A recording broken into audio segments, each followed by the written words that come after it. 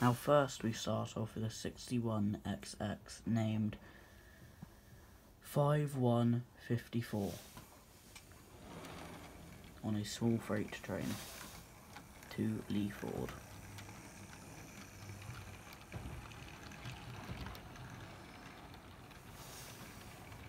Now this is a 45XX named 4569 going to Foxcote Halt coming from Leeford. This is Leeford Station. Leeford is up there. Now here's the 61XX getting loaded with some freight. Let's go and catch the 45. Now the 61XX is all loaded. They'll start accelerating for Foxcote Halt.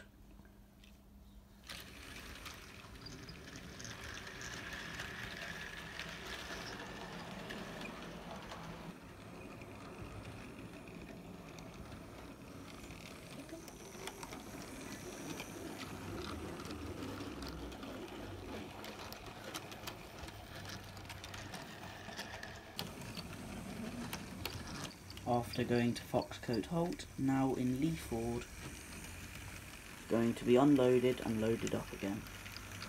Now 45XX number 4569 will be accelerating away from Leeford.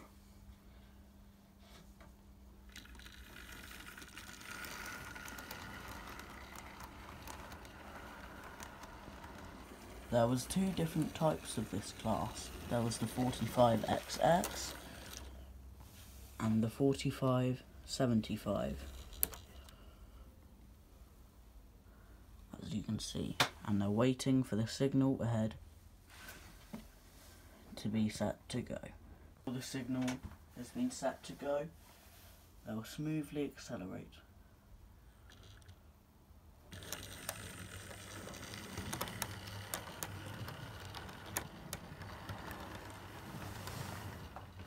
Can see the local goods train going through and past the war camp.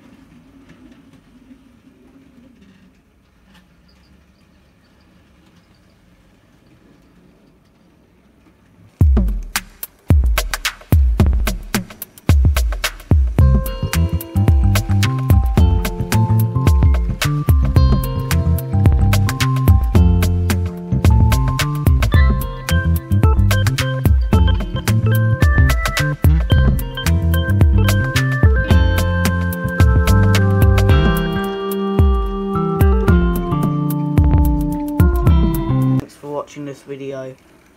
So this is the first running session I've actually properly had. Um,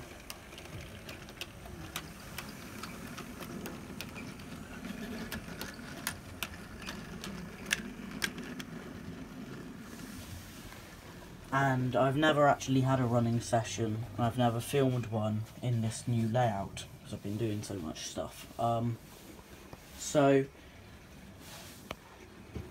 um, on my old layout, I did do a running session, but it was called the Little Heritage Line um, back then. The video is still up. It's quite nice. Um, I don't know how many views it's got, but yeah. Please like and subscribe. Just took me quite a long time because it'll keep on derailing and uncoupling on this blimmin' lift out. And uh, in the middle of filming I actually had to rip out a point under there. Now next video, we'll, I'll be showing you, I'm only showing you that part. It's going to be what's actually happened to the steam tractor. And on my arm there's a burn because I accidentally burned myself, so yes. I'll tell you. I'll tell you one thing. The steam tractor is stripped. Everything's in there. That's the only thing I'm saying. So bye, everybody.